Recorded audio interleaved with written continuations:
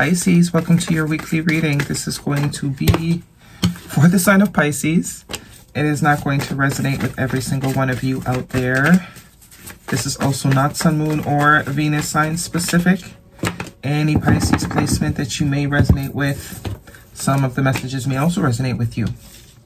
At the end of the reading, I will pull you some oracles, give you a little bit more guidance for the week.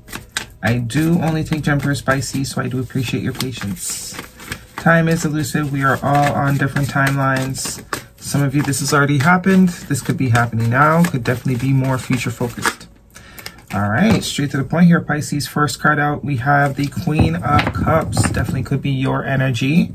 could also be dealing with another water sign, uh, Cancer, Pisces. I mean, Cancer or Scorpio. The Five of Cups, Queen of Wands, Aries, Leo, Sag energy, and the Seven of Pentacles so far.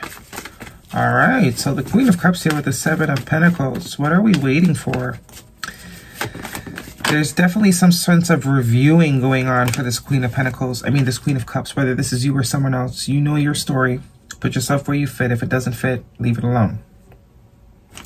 We also have here the Empress, Libra, and Taurus energy could be important to you. Major Arcana, the Magician, and the Knight of Pentacles. Interesting. Capricorn, Taurus, Virgo energy. All right. I do see this as a dynamic between you and someone else. Bottom of the deck is the Nine of Cups. Kind of the vibe I was getting. Star card. Major Arcana for Aquarius energy. Healing. You or someone are in a bit of a, a, a, a pickle. Whoever this is, though, they see you as very loving, very caring, um, someone that's got a lot of love and emotion to offer being this Queen of Cups, coming in with a full big old cup. You got a lot of love to give. And someone is very aware of it. Looks like they have um, done some things wrong, though, or made some mistakes with the Five of Cups here. A sense of regret. That's my shoulda, woulda, coulda card. Yeah, something, something, something went down here. this Seven of uh, Pentacles tells me whatever has gone down has put you in a position where you are now reviewing as to whether or not you want to continue with this or not. Do you want to keep doing this? Should you keep putting time? Should you keep investing? Time, money, energy, whatever it is. This regret, though, I don't know if this is a regret that hasn't happened yet. Like there's something, something, uh, something you want to do. You, you don't want to regret not, regret not doing it. Or I don't know if you regret doing something. You know your story or whoever it is you're dealing with. Because I do get this might be someone else. It's like they don't want to regret not saying something or they regret doing something. But the perception needs to change for whoever this is. Because the Five of Cups is a sense of not really focusing on the right things. Love still being there, but, you know, someone being so focused on what went wrong, they can't see what can still go right.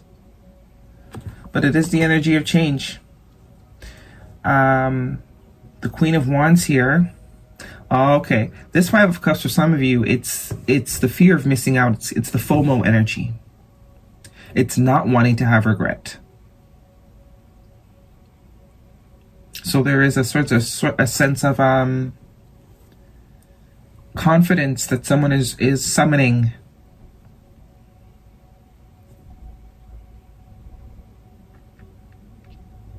a confidence that someone is summoning in order to sort of uh, say something here. The Knight of Cups is all about expression. Someone that has some sort of expression, emotional expression, they got to say how they feel. They want to sort of say something that's going to make it very clear how they feel, whatever. There also could be a date, something that has taken this person a very long time to uh, get work up the courage to do. Something they've maybe wanted wanted to have done for a long time. They see you as very loving, very attractive. Yeah, it's all about power. It's all about self. It's all about um, do I believe I can have this or not? What do I believe about myself? How do I see myself? Do I see myself as someone that can go for the things they want, regardless of the outcome? Or am I too scared of rejection to even bother? The magician is all about self, all about me, I. The things I think I'm capable of doing, because the magician is very aware he can do anything he wants to do. He's got anything, he's got all the elements, all the tools in his toolbox to achieve uh, and obtain anything that he sets his mind to, male or female, obviously.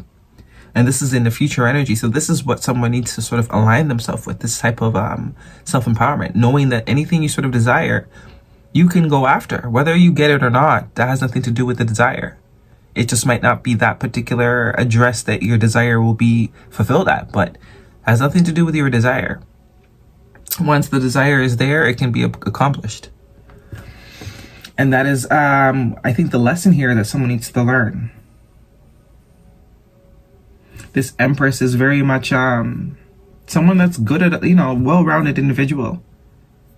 Could even be someone with children, a parent. But the Empress is usually uh, a sense of mastery. Mastering more elements of self. Like, yeah, we know you're a loving person, but are you a go-getter? We know you can love the shit out of something, but are you someone that goes after what they desire, goes after what it is they you know, are, are drawn to because the Queen of Wands is very much creative, you know, very confident, very intuitive. Star card, aligning yourself with uh, wish fulfillment, destiny, and Tower hiding behind that major arcana for Scorpio energy. Scorpio season could be important. So definite, definite change here definite change there. So once someone sort of realizes that, um, or sort of just summons the courage to go after something, a lot of change. Do I have this upside down? Yeah, Three of Swords. I do believe that is past energy. You'll now have two threes here. Yeah, so it's definitely past hurts and pains that have this, that has warped someone's perception of self and um, is affecting someone's ability to be a go-getter. Someone's afraid of loss. They're afraid to get rejection. They're afraid of rejection. But Nine of Cups here and the Nine of Pentacles. These are two very confident people, individuals. So it's almost like going for this not only creates some sort of confidence for you, but it creates some confidence for, because I do get a dynamic between you and someone else. Either you want to go towards them or they want to come towards you. If there's a sense of a fear of missing out, like, what if I don't do this? I'll never know. Well, they're going to do it. But not only does it create confidence for whoever's taking action, but it's also creating confidence and um, stability for whoever's receiving the action. All right, moving forward. Six, seven, eight of swords. What's the eight of swords again? Oh, that trappedness, yeah. Being blocked, not being open. All right, guidance, please, for Pisces if this is a romantic situation.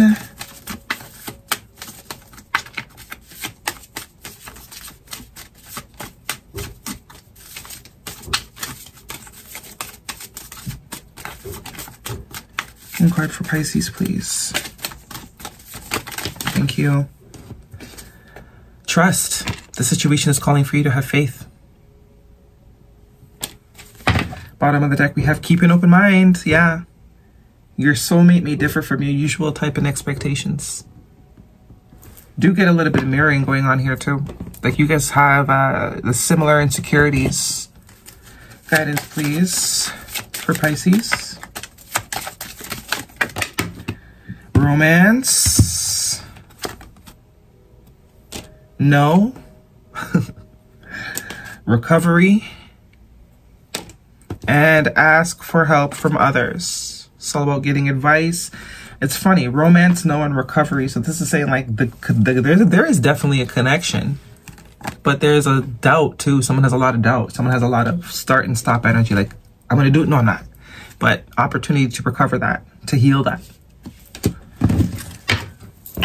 Guidance, please, for Pisces. It's like romance. Nah, this person doesn't really like me. Who am I to like? That is what needs to be healed. That that's what uh, needs to be recovered. That that magician energy. Forgetting who you are. Definitely forgetting who you are. Um, Badger Spirit, be bold and make the first move. Number four all about solidness, all about protection, and this is all about going the go-getter. This is the go-getter. Do it. Just do it already. What you got to lose? At least if you say no, you at least okay. At least you can you know forget about it. But it's the it's the not knowing and always wondering what if. Mercury retrograde, electronic issues, communication issues, review, everything. That's definitely what the Seven of Pentacles is about, a sense of review. Am I really giving everything I can give? What would happen if I actually did try? Guidance, please, for Pisces. It's time to take action. I mean, you have three cards here. Very much being specific about getting off your ass and doing something. It's time to take action. Be bold and make the first move. That's that Aries energy too. And what was the other one? This situation is calling for you to have faith, keep an open mind, but two confirmations here of, of doing it. And emotions are running high. So there's definitely emotions involved, but it's not allowing those emotions to sort of dictate, right? Having the emotions, but also taking practical action. What are we missing? Animal Oracle, one of these. Guidance, please. Pisces.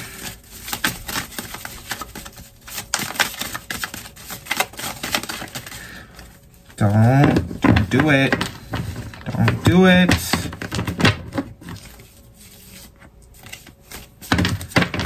Pisces. Pisces. Slow. See how slow that is? Very slow. Taking one sweet time, but it's going to happen. Overcoming fear. See? I will transcend every loss. That is the Three of Swords. So some sort of loss, significant loss that I was experienced in someone's past. Most likely someone that you're reflecting that same energy from. It has, has stunted someone's ability to go after life. And this is the realization that life is meant to be gone after. Okay? See you next week, Pisces. Hope this resonates. Thumbs me up. Do not forget to subscribe. Bye.